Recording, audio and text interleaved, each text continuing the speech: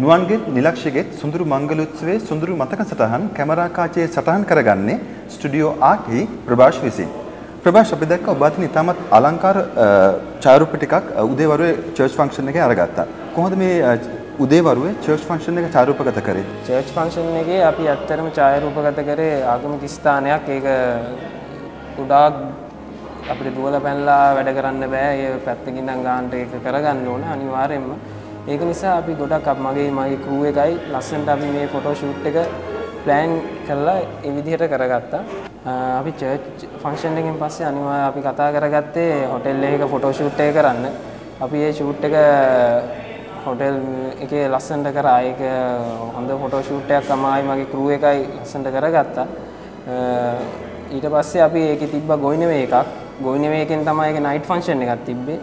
අපි night function එකට photos කරේ වෙනත් හොටෙල් එකක. ඒ හොටෙල් එකත් මිනුවන්ගොඩ සයිඩ් එකේ හොටෙල් එකක්.